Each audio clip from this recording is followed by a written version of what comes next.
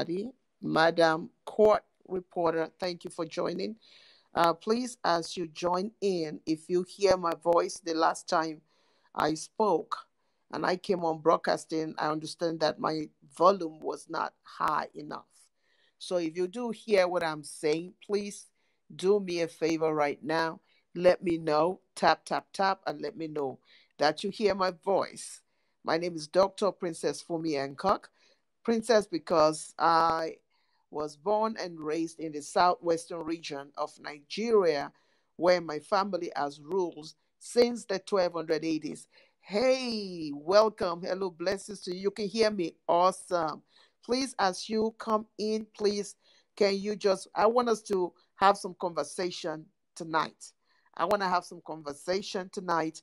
Please tap, tap, tap, share this. I have not been here in a minute. A whole lot of stuff has been going on in my life which I would intend to share some as we, as I begin to find my way back um, to Periscope. I have not been on Periscope for a while because I've just been busy. Some of you who are following me on Facebook will find out that uh, we recently launched our, uh, I think is my 26, 25, 26th. Thank you for sharing. A book called Fearless Visionary, Tear the Veil where I had the opportunity to bring uh, together 18 women who are all, every one of them now, our first number one best selling author uh, because of that project. And because of that project, Fearless Visionary Tear the Veil, the, the project has, has actually become something bigger than I expected. Is your welcome. Thank you for inviting your followers. It's become something bigger than we anticipate and we've been traveling all over the world to launch the book. Uh, so I want to seize the opportunity to just say congratulations to all of my fearless, fearless visionaries. Uh, people have been asking me from all over the world, when am I going to start the next uh, volume? My goodness, this first volume is a lot of work. So I'm still kind of, I'm resting on that one. Um, here is here is a, just a little thing before we go into conversation that has happened since the fearless visionaries. If you have not gotten a chance to take a look at the book please look at amazon or you can go on the community to our community on facebook called fearless visionaries community. Of course you can also go on fearlessvisionaries.com where you will find the trailer. It is super duper awesome i mean when you talk about awesome sauce, it has been awesome sauce. People tell me, well, Princess, how have you been able to bring all these women together? And we're still together one year later and we're still pushing. The very first thing that we did, because here's the thing a lot of people applied to become part of the Fearless Visionary, but I, I felt like I needed to go by what the Spirit said. The cool thing about it is that it's not a spiritual platform, but of course, we're spiritually conscious because many of you know that I'm a born again Christian. So I ain't to lie about that. I'm a minister of God, so I ain't to lie about that too. So I love the Lord and I ain't to lie about that. But God allowed me to go and live in Saudi Arabia for a year where I met just beautiful Muslim sisters. And, and Fearless Visionary is comp- comprised of Christians, Muslims, and it's just incredible to see all these women become, I mean, number one best-selling author. The very first place that we went to was the UN, United Nations in uh, in New York. Now, one of the fearless visionaries was the one who instrumented that, and we got to launch at the United Nations. And of course, we were able to launch at Capitol Hill, Washington D.C. Then we went to uh, University of East London in London, where they hosted us to do uh, um, an event there. Some of these events you'll find on Facebook, on Twitter, uh, Instagram, and of course on our website. It's just been cool. And then we come back to the US where we got a chance to do a big launch in Atlanta. Now that was just incredible. And of course, since then, right? Of course, since then, we've gotten a chance to go to uh, Illinois, a chance to go to, oh my goodness, I can't even think straight right now. And just last week, we were in Dubai launching, oh my goodness, launching and the sisters got a chance to be on the platform that was and, and one of the sisters was instrumental in making that happen too. All of these systems were strategically placed.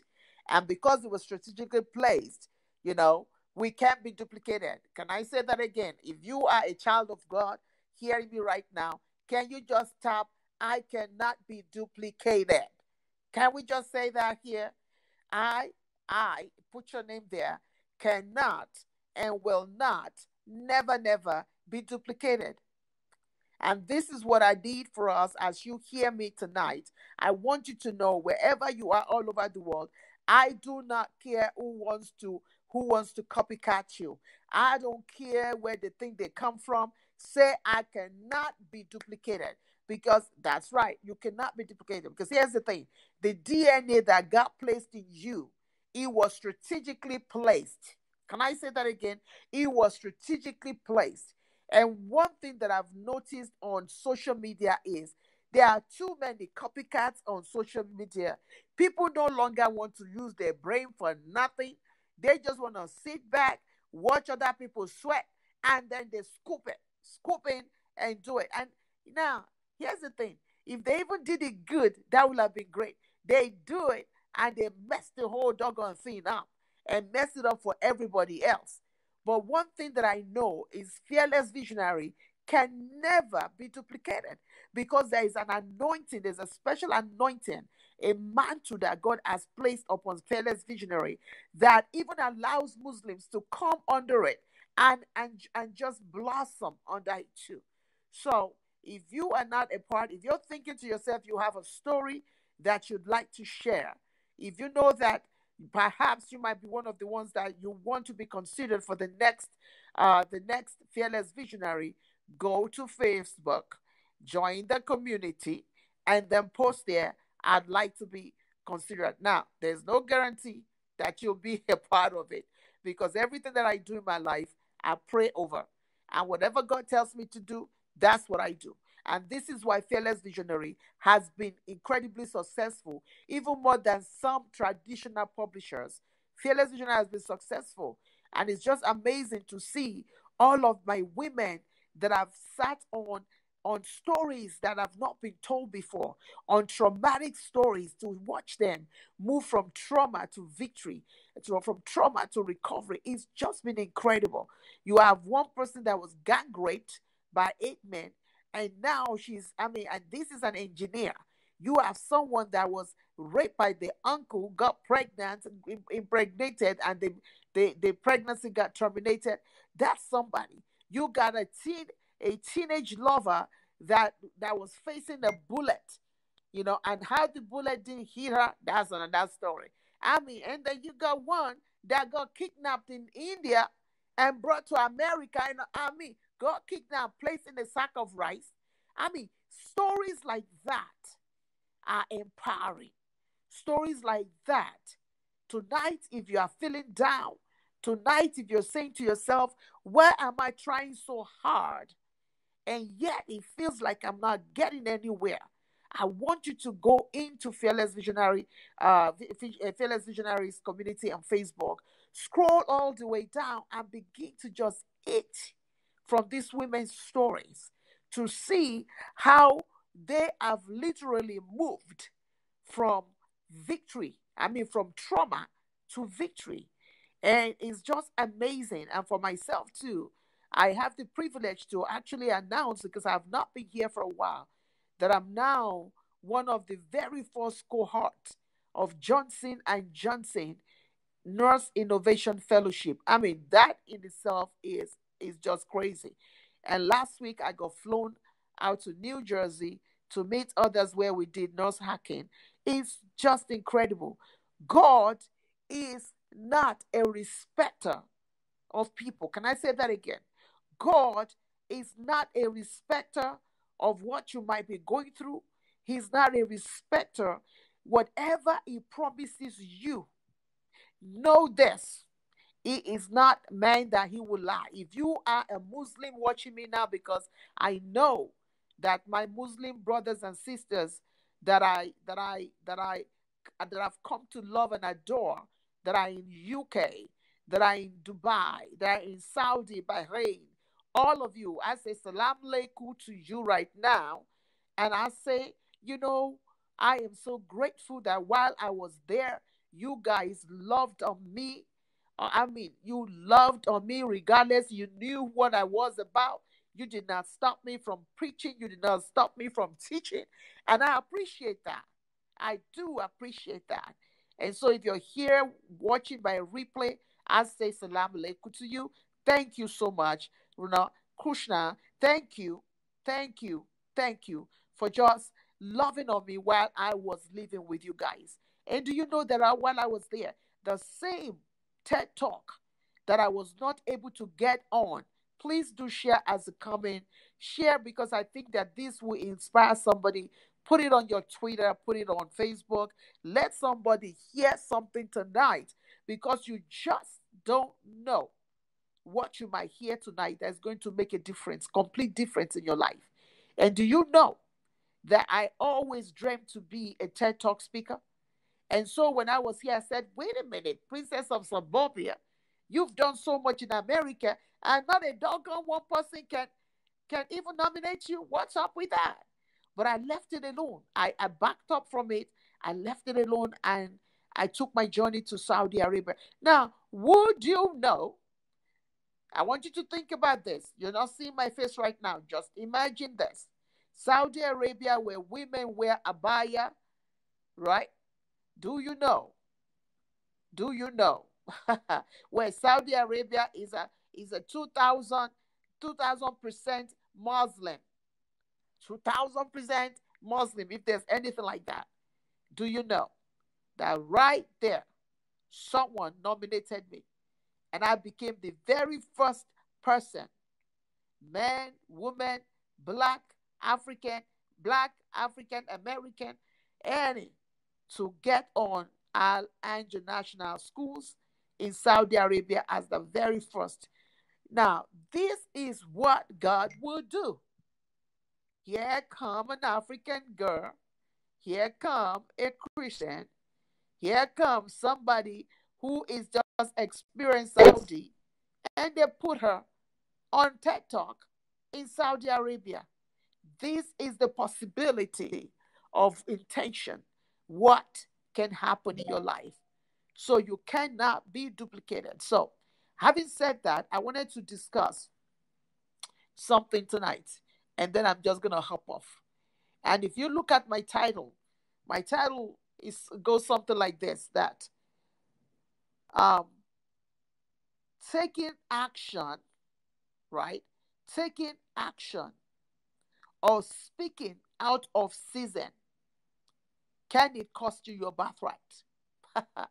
I want us as you as you hear that, I want us to think about that. And if there's any comment that you want to give, please, I want to hear it too. I want to hear that comment too. Taking action or speaking out of season, can it cost you your birthright? And why why why this topic i have really for the last few days it's just a topic that just came in my heart as i began to think about how the holiday season is coming the things that i want to see change in my life as we move into 2020 the 2020 vision vision. And this was something I, I, I read a story which i want a, a story about a young lady that i really love. I mean really love. Frankly, the young lady almost became my uh, sister-in-law, which I would have loved, but uh, that's another story, right? And I began to, to just sit on it. I began to pray and say, God, what went wrong? What went wrong?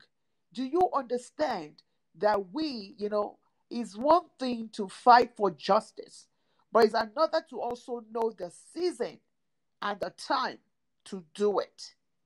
And and and for me particularly, who is a minister of God, I always when I hear a message like that that seems like people might not agree with, I always say, God, give me a scripture to back it up. Give me a scripture to back it up. And one of the scriptures that God gave me was Vashti, Vashti and Queen Esther. Now, here's the thing Vashti got tired of the king parading her, right?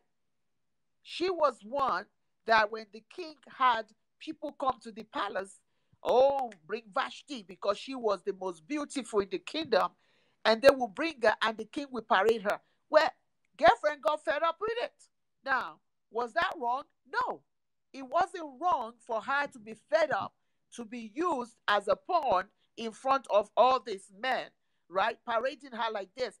Frankly, if I was in her shoes, I'd be fed up myself too, right?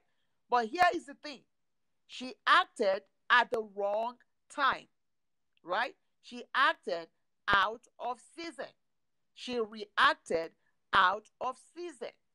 And God showed me how, because she reacted out of season, she handed over her birthright to Queen Esther. Hey, somebody, I better hear me tonight. Somebody, I better hear me tonight. As you watch this by replay, I want you to hear this. I hear it brilliantly. Vashti, let me say that again. Go and read in the scripture. Just go to Google and put Vashti and Queen Esther, and they will come up.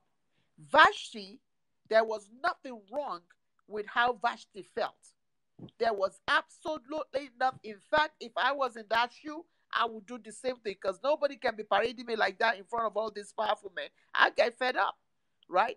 But the thing was, she reacted out of season. And because she reacted out of season, welcome, welcome. Because she reacted out of season, she handed over her birthright to Queen Esther. Now, while she was reacting, Queen Esther was being brilliant. She was listening to mentorship. She was waiting her turn. She was praying. She was trusting. She wasn't. She was in the council of many people. She wasn't by herself saying, I got something to prove. She wasn't doing that. She knew that she needed the she needed to have a specific and a unique approach. And the approach, it would take more than just herself and her beauty to make that happen. So while Vashti was reacting, right?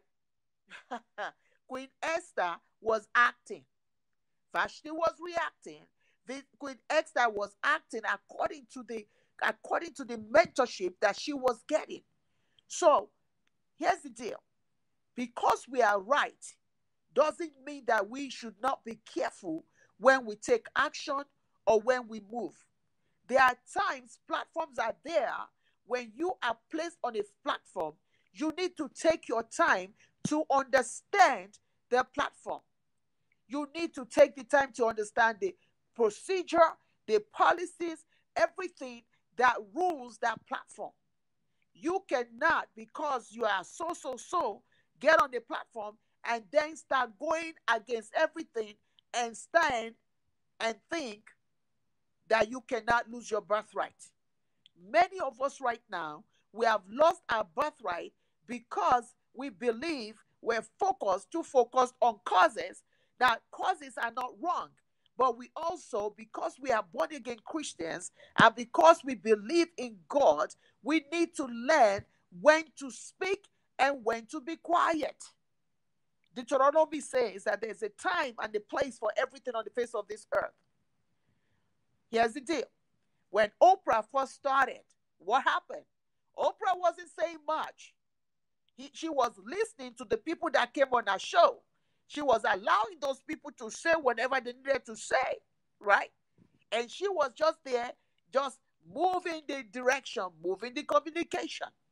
But where Oprah is today, she can say things and it don't matter if people, right, agree with her or not because it is her platform. She can do whatever she wants to do on her platform. But when we are invited onto a platform, when we are invited, there are certain rules and regulations that we are given. If we if we take our pen and we sign saying, I agree to abide by it, then we must absolutely or unequivocally adhere to that platform. Otherwise, we become people that can no longer be trusted. Yes, we might have a cause that is right.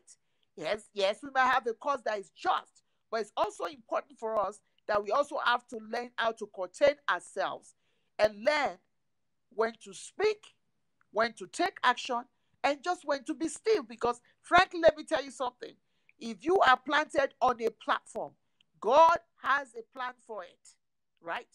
But it's left for us too to now take our time with that platform or wherever it is to take our time to understand things, to build ourselves within that platform to the place where we are now able to have freedom to say whatever it is that we need to say.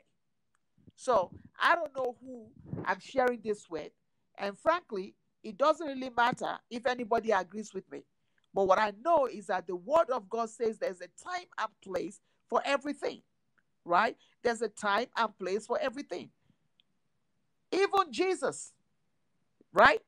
When he was placed on this earth, he had time and moments where he was teaching, where he was not released. I remember when he went to the uh, to a wedding in Canaan, and they said, "Oh, there's no more wine." People were pushing her, him to say something. What did he say? He said, "Uh, uh my time has not yet come. My time has not yet come." Right? He said, "My time has not yet come." Now, why would he say that? Why would he say that when he says, "My time not yet, has not yet come"? So this is what I would like to share. When you are placed, I mean, this has nothing to do with politics. It has nothing to do with anybody's emotions. It just has to do with the word of God. What does the word of God say there? Yes, we have to stand by justice. Yes, we have to stand by truth. But guess what? We also have to understand that God will grant us the ability and the time and the space so that we do not burn ourselves out before the time when we are able to now say whatever it is that God has placed in our heart to say. So I hope as you listen to this today, that begin to think in your life what are the things that I may have botched up because I spoke too soon or because I took action too soon. But guess what? He's also giving us an opportunity to do it all over again. He's giving us an opportunity to do it all, all over again. Will you do it the right way this time? Whatever it is, whatever platform that you'll find yourself, you want to be trustworthy. You do not want to be someone that people will now be afraid to put on the platform because they don't know what will come out of your mouth because you feel you have something to say. All right? So it's important because here's the thing it's easy for us to be blacklisted in uh, in, in, in Hollywood, in in the media, in all kinds of places, even in churches. Some people are blacklisted because they cannot be trusted with what comes out of their mouth.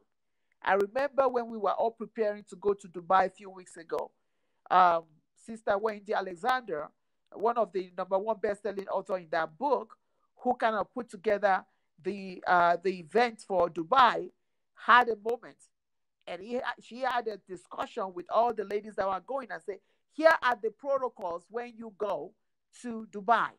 These are the things that you do. These are the things that you cannot do. These are the things. I can say. I need permission to be able to take your picture. I need permission for this. Can you sign this? Well, of course, we all signed at the dotted line. When we took our pen and signed, what we essentially say is that we will abide by what you say because that is a platform that you have provided us. If we go there and do whatever, the shame is going to be on Wendy Alexander. If we start going, when we went to uh, Dubai and we start doing things out of order, out of things that he had, she had already said do not happen in the Arab world, guess what? Guess what? She's never going to invite you to that platform again not only is she never going to do that, she's going to make sure that other people, if they come and seek review, she's going to make sure that they do not put you on that, and she will be right in doing that. So as we move along and prepare for 2020 vision, it is important that we clean our own vision, understand that God will open doors and platforms in our life.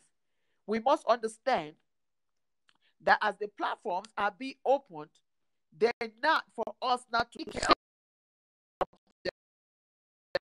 Not, not, not, and understanding, trying to figure out when we could try to, to everything under the face of this earth. It. So we must also understand that regardless, because I put you, I put you on my platform, don't give you the right to say whatever without permission. Because at the end of the day, it's going to be my head on the roll, right? It's going to be my head. Understand? Just like I said, I, I shared with people that several years ago I took a lot of people to Africa to work in Africa. They promised heaven and earth and all kind of stuff that nobody asked them to promise, and they didn't do one of it. And now, right, 10, 15 years later, I'm still bearing the brunt of what they did. This is what happens when people bring you on their platform. You've got to learn to respect people's platform. I don't care what kind of causes you have to do. You've got to learn to respect people's platform, period. Because what happens is when you do not respect it, what happens now is that the, the, the platform that God is trying to develop in and through you, the cause, which is mostly actually correct and right, right? You know, it usually is a cause that's right, now becomes diluted, and now there's a lot of tra- distraction away from the cause and the message. Now, the distraction, you have become a distraction to the message that you're trying to say. I hope that makes sense to somebody. So, until next time, be inspired, be motivated, be of sentimental value. Know that you are the hero in your own life story. My name is Dr. Princess Fumi Hancock. I'm a psychiatric mental health nurse practitioner, doctor of nurse practice. Of course, I'm a Johnson and Johnson Nurse Innovation Fellow, uh, a TED Talk speaker, a best-selling author, an award-winning filmmaker, and of course, I'm a friend at large. God bless you now. Bye bye.